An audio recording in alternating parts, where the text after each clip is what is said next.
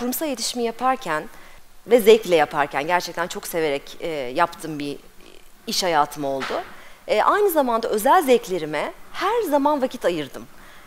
E, ne yaptım? Yazı yazdım, dans ettim, okudum, e, müzikle uğraştım.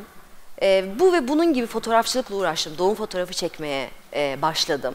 E, bu ve bunun gibi sanki hani temel işinin e, yanında görünen, garnitür gibi görünen e, şeylere açıkçası e, belki de kendi çevremde olan insanlardan çok daha fazla değer verdim diyebilirim. E, ve en sonunda baktığım zaman e, bugün geldiğim noktada, ha bu nokta e, çok iyi bir nokta, tamam oldum dediğim bir nokta diyemem. Çünkü insan hiçbir zaman tamam dememeli bence e, ilerleyebilmek için.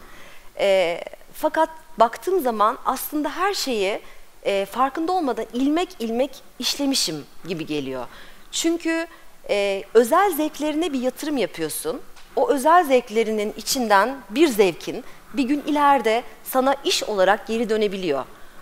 O işi yapmaya başlıyorsun. Benim için o iş yazarlıktı.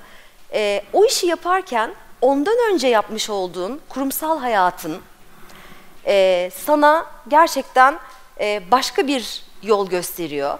Ve sen mesela bir kitap yazdığın zaman benim gibi o kitabın kurumsal çalışmalarında, halkla ilişkiler çalışmalarında söz sahibi olabiliyorsun ve senin bambaşka bir bakış açın oluyor. Çünkü onun öncesinde 15 yıl kadar bir süre sen de o işte çalışmışsın ve e, aslında gördüğünüz bütün e, hayatınızı oluşturuyor diyebilirim. Çünkü siz demin dediğim gibi ilmek ilmek bir şey işliyorsunuz. E, baktığınız zaman çok böyle birbirinden ayrı şeyler gibi görünse de e, aslında hepsi birbirini besliyor. Ve bugün geldiğiniz nokta ne olursa olsun sizin o tecrübeniz mutlaka bir yerde işinize yarıyor.